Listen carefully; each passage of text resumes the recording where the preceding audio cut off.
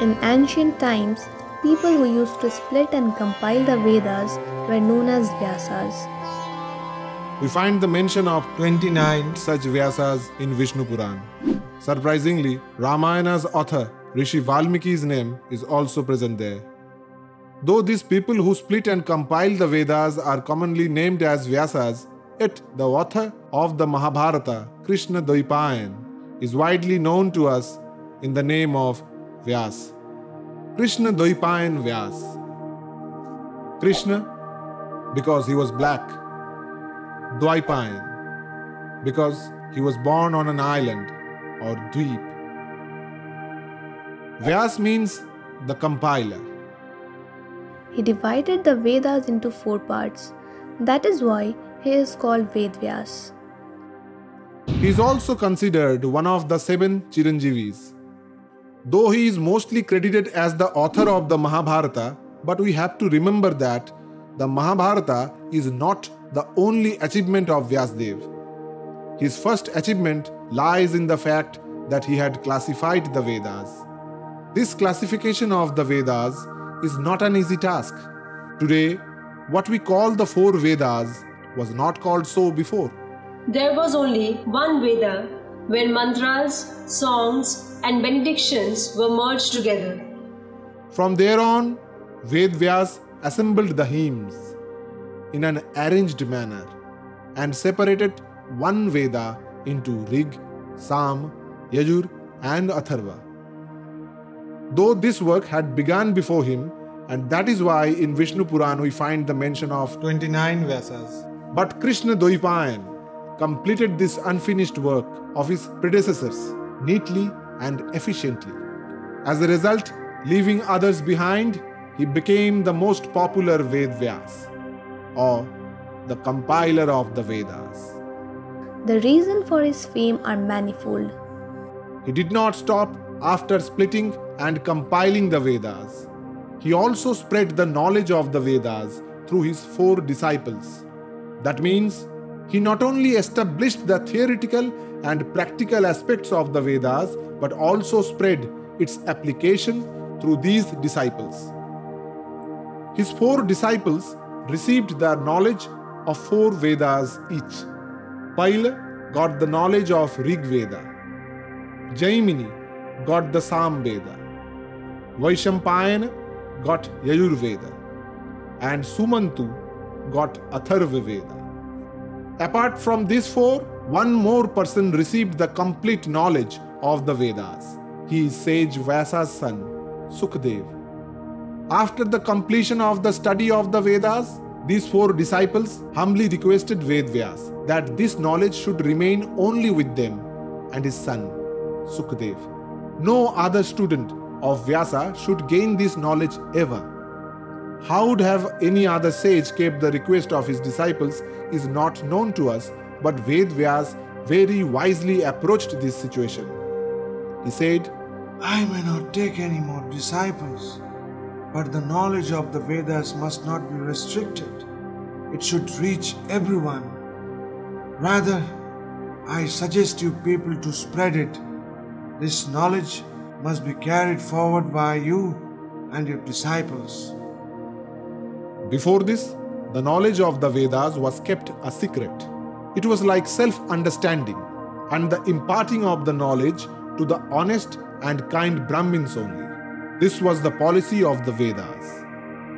What Ved Vyas said otherwise. The Vedas must be heard by all the four Varnas, keeping Brahmins who are pure, kind, and optimum knowledge bearers and carriers in front.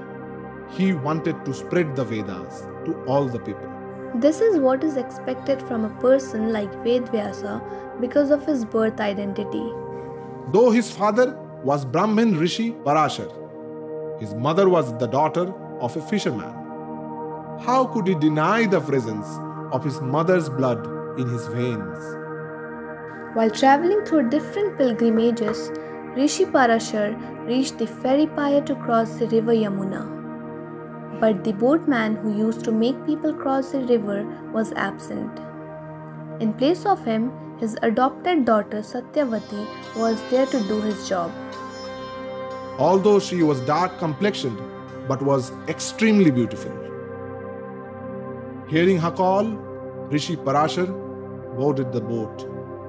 Rishi asked her about the cause of the boatman's absence. In reply, she said, Father is the head of fishermen. He doesn't have any son. I am his only daughter. But don't think I cannot land you on the other side. If thousands of people were to cross the river, I am still capable of doing so. Rishi Parashar was impressed by this and asked her to move the boat. While riding, he was mesmerized by the beauty of Satyavati and desired to have a son with her. Satyavati agreed. Then, in the middle of Yamuna, under the deep cover of mist and fog, they unite. As a result of this, Krishna Dvaipayan was born on an island of Yamuna. After the birth, Krishna Dvaipayan grew up instantly due to his father Parashar's miraculous power. Then Krishna Dvaipayan asked for his mother's permission to let him go with his father for penance. But he also assured his mother that if she needs any help from him, then he will be there.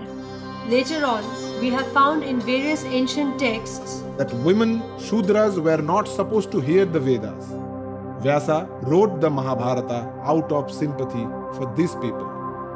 Vyasdev told this many times that if a person is born in a Brahmin mother's womb from a Brahmin father's semen, that doesn't mean that the person will become a Brahmin. The real Brahmins should possess knowledge, kindness, sacrifice, dharma, and true character. In Gita, he put this line in the teachings of God Not based on birth, but based on profession and quality, I have created the four Varnas. From the Mahabharata, we get to know that Krishna Dvaipayan Vyas was a black skinned man. Neither was he a true Brahmin due to his birth. He was a great seer, but a greater poet, and one of the greatest human beings. His mother's legitimate husband was Hastinapur king Shantanu. He knew this very well. He knew the story of Bhishma too, but still he hadn't appeared in Hastinapur until and unless he was called first. When Satyavati's legitimate sons Chitrangad and Vichitravirya died early, and Satyavati couldn't manage to make Bhishma agree to become the king and have a child, then Vyasa's requirement was felt. By this time, Vyasa had already split and compiled the Vedas scientifically. He was very popular then. Most of the people in Bharatbarsh respected him. But when he heard his mother's call from Bhishma, he appeared in front of her without any hesitation. He touched her feet and assured her that he would fulfill his mother's wish. Satyavati told him about the recent crisis for the successor of the Hastinapur throne, also mentioned about Bhishma's stand. She continued by telling him about his duty as an elder brother of Vichitravirya. After this, she started speaking about the beauties, youth, and childlessness of the wives of Vichitravirya, Ambika and Ambalika. She also gave him some lectures on the duty of dharma to convince him. Vyasa agreed on one condition. He said, Your daughters in law will get children, but for this, they have to perform a vow for a year. Only after then Vyasa would beget children to them. This dialogue has a great importance if we want to understand Vyasa's character. We can easily understand that after getting the proposal in the form of an order from his mother, he did not agree to intercourse these ladies out of his excitement. Asking from them a year's vow is the proof of that, because as a seer, he can understand that though it was an order from his mother, still it contains some conspiracy. He wanted to dissolve that conspiracy. Marriage contains social duties as well as physical demands. But in this case of Niyoga system, there was no such scope. This is why Vyasa wanted Ambika and Ambalika to go through these vows so that they can mentally prepare themselves. But Satyavati did not agree to this. At that moment, there was no heir for Hastinapur throne. Bhishma neither wanted to become the king nor wanted to have a child. In that case, the citizens may feel insecure, and as a Rajmata, Satyavati couldn't let this happen. So she said, Without a king in a kingdom, the citizens might feel helpless. All activities come to a standstill. Rather than that, it would be better if you think of a way out through which my daughters in law could conceive at the earliest possible. Another reason for Satyavati's concern was Bhishma's age. If her daughters in law could conceive now, then Bhishma would get some more time to train the children. This did not please Ved Vyas, but he could not even disobey his mother. Then Ved Vyas said that the queens must have to bear his horrid appearance. Firstly, he was dark complexioned. Secondly, he had huge dreadlocks Srinyam. Moreover, he had a long bearded face and his body was stinking. But Vyasa's reason behind the endurance of his terrible appearance was a part of the Niyoga system. As a result, seeing upon him, Ambika, who was rather scared, shut her eyes, resulting in their child Dhritarashtra being born blind. The other queen Ambalika turned pale upon meeting Vyas, which resulted in their child Pandu being born pale. Surprisingly, as an author, while describing the fact, he has expressed his empathy for the queens. He mentioned that since the heavenly beautiful queens were used to royal pleasures, that is why they did not accept the company of a terrible looking, black, stinking man. And that is why Ambika could not obey her mother in law's second request. Here, the notable point is that the terrible looking, black, stinking man Vyasa is talking about is he himself. But this is also true that Ved Vyas did not deserve this neglection from Ambika and Ambalika because he did not want to do this at his own will. He had come to follow his mother's orders. But the royal queens, Ambika and Ambalika, did not talk to him, seeing such appearance. When Ambika, in her stead, sent a maid to Vedvyas, the maid's behavior impressed him. Because what the royal wives and princes could not tolerate, a maid could easily do. Neither did she feel the foul smell, nor did she find the dreadlocks Srinyam ugly. As a result, this mating was much better, and that is why Vyasa blessed the maid, saying that she would no longer remain a servant and would give birth to a wise man. While describing this portion in Mahabharata, Vyasa says that Dhritarashtra was born from the womb of Ambika. Ambalika gave birth to Pandu, and Krishna Dvaipayan Vyasa's son was Vidur. From this, it is very clear that he found Vidur his closest, as if he was biased towards the maid. In the wedding ceremony of these royal children, Bhishma said that they were able to revive Shantanu's lineage because of him, Satyavati, and Krishna Dvaipayan Vyas. We can find a deep theory behind this. The next new Bharat clans were mainly dependent on these two greats, Ganga Putra Bhishma and Krishna Dvaipayan, who was born on an island in the Yamuna. Bhishma was the son of King Shantanu, and Vyasa was the son of Queen Satyavati. These two were mainly responsible for the next generation of Shantanu's aristocracy. One sowed the seeds, and another one protected and raised it. After the Indus Saraswati civilization, these two rivers, Ganga and Yamuna, had the most impact on the lives of the so called Aryavarta. Due to these rivers, the Aryavarta civilization exists and grows. In a sense, Vyasa was a representative of Yamuna and Bhishma was of Ganga. Another interesting thing is that they both were called the grandparents or Pitamaha for both Kauravas and Pandavas.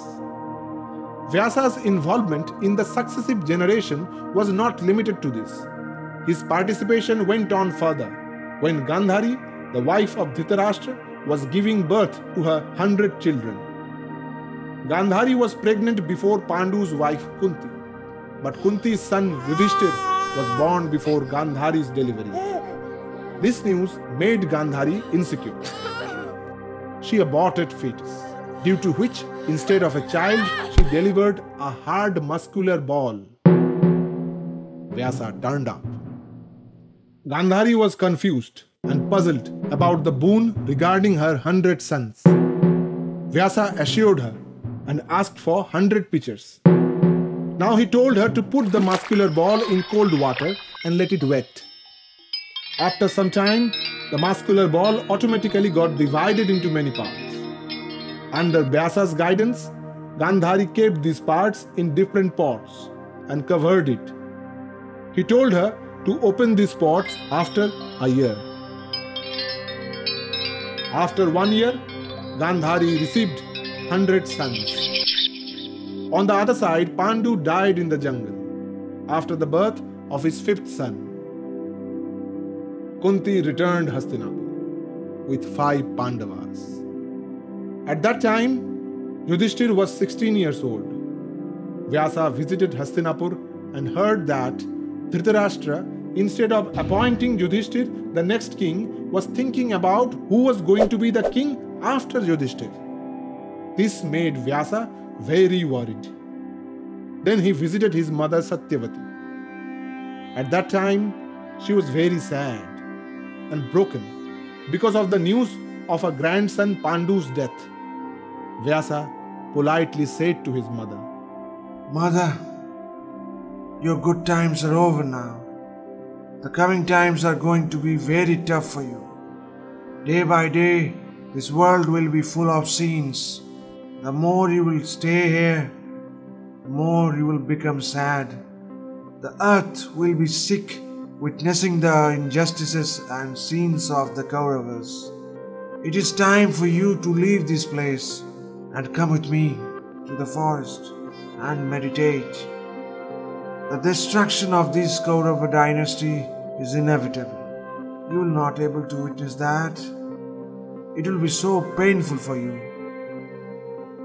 Satyavati felt the gravity of Vyasa's words.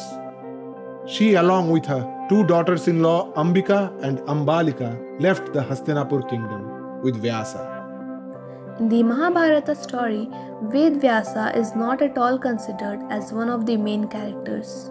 But we see him either before or after the main events. Let's take the instance of Draupadi's Swayamvar. He was the one who first informed about this to the Pandavas. And after the marriage, when Draupadi's father Drupad and her brother Dhrishtadyumna opposed Yudhishthir for Draupadi's five husbands, Vyasa was the one who resolved the matter by convincing them.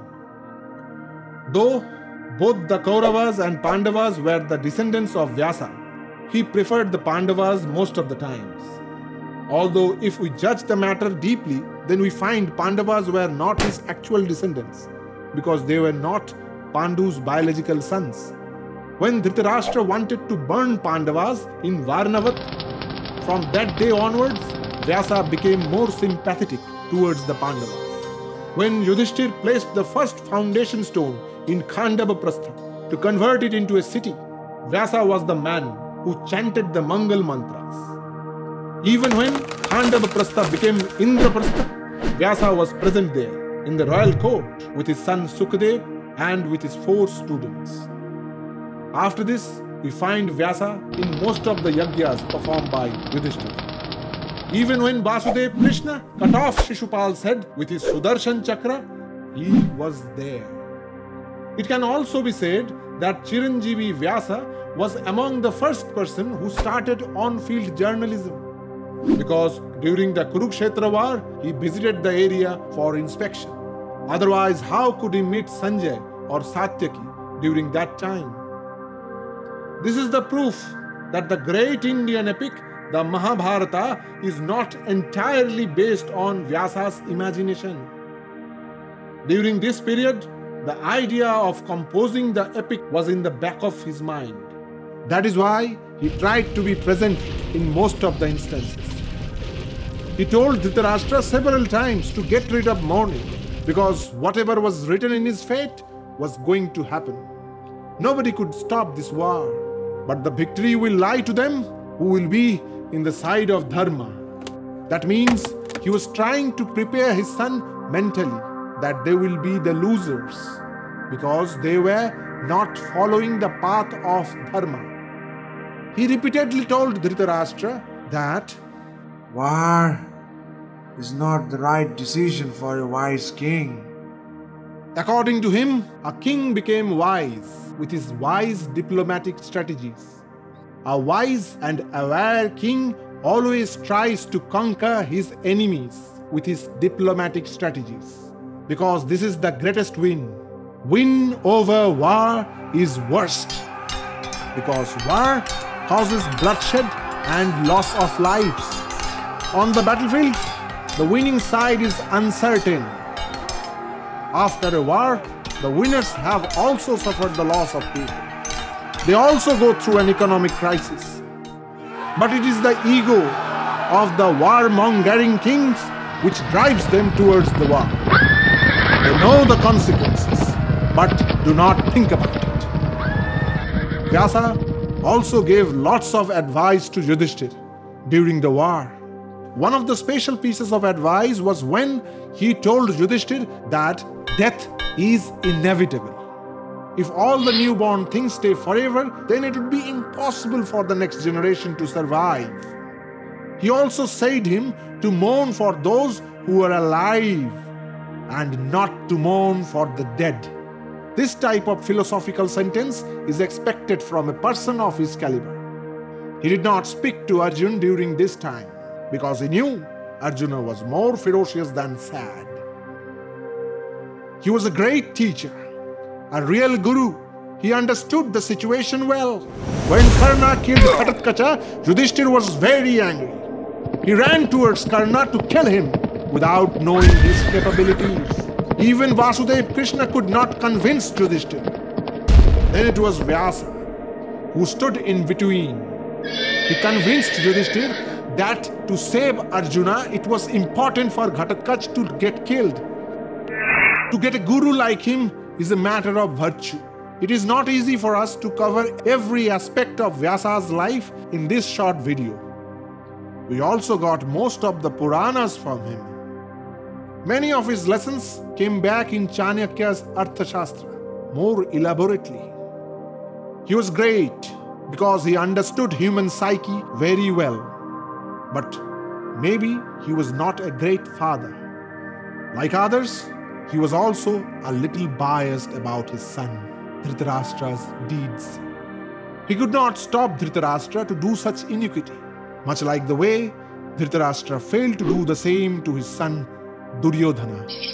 If seen in this way, they were inefficient. Krishna Dvaipayan Vyasa's Mahabharat is for all mankind. This book is not for salvation, though some people may find it that way. It teaches us how to follow the path of Dharma. The book not only teaches us what to do, but also tells us what not to do. Here we see that the four Purusharthas, or objects of human pursuit, Dharma, Artha, Kama, and Moksha, were used to create the epic Mahabharata by Vedvyas. This has been done in such a way that even till date, nobody could supersede it. Many netizens consider the Mahabharata to be a tale of fair skinned, sharp nosed Aryans. But if we scrutinize carefully, we notice that this is not the truth. The author himself was an ugly, black skinned man. His mother Satyavati was called Kali initially because of her dark skin. And this black man unites Arjun, who was darker than the other brothers, with Krishna Draupadi, the one who had a dark complexion. Above all, the greatest of all men in Mahabharata, Sri Krishna, was also dark complexioned. Viewed from this angle, Mahabharata was a victorious song of the so called dark skinned people.